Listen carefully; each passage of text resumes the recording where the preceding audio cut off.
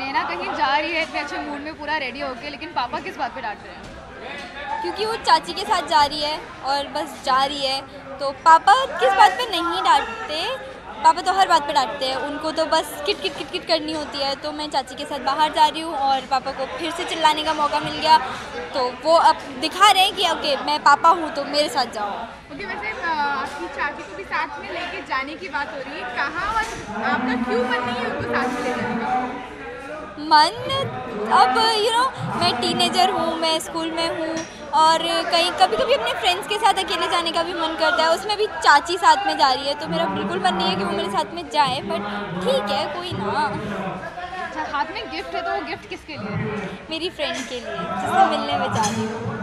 अच्छा तो फिर लास्टली फ़ैन से क्या कहना चाहते हैं I love you all and thank you for watching our show इस शो को नंबर वन नंबर वन बनाने के लिए थैंक्स अ लॉट इतना सारा प्यार देने के लिए थैंक यू सो मच और प्लीज़ ऐसे ही प्यार देते रहिए और देखते रहिए. ये उन दिनों की बात है.